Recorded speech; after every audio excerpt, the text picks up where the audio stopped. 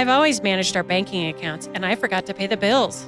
Grandma wore her snow boots and jackets to our 4th of July celebration. There are 72,000 stories just like these from people all across Colorado living with Alzheimer's disease. Do you know the 10 warning signs of Alzheimer's? The sooner you recognize the 10 warning signs, the sooner you can do something about it. Learn more about the 10 warning signs online at alz.org forward slash CO or call 800 272 3900 for help and support.